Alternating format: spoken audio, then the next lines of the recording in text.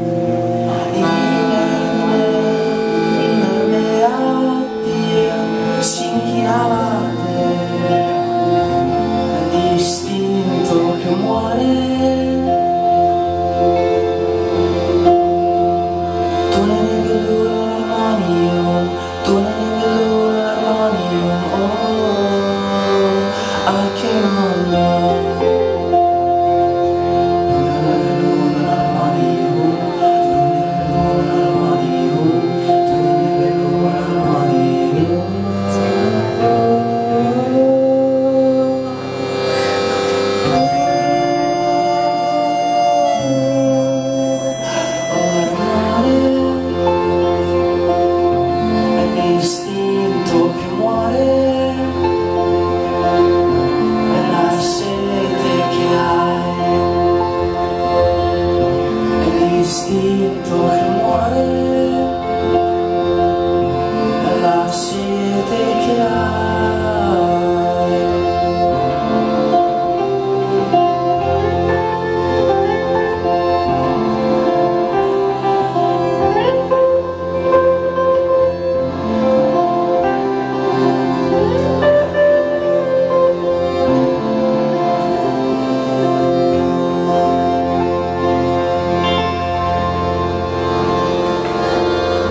partielle.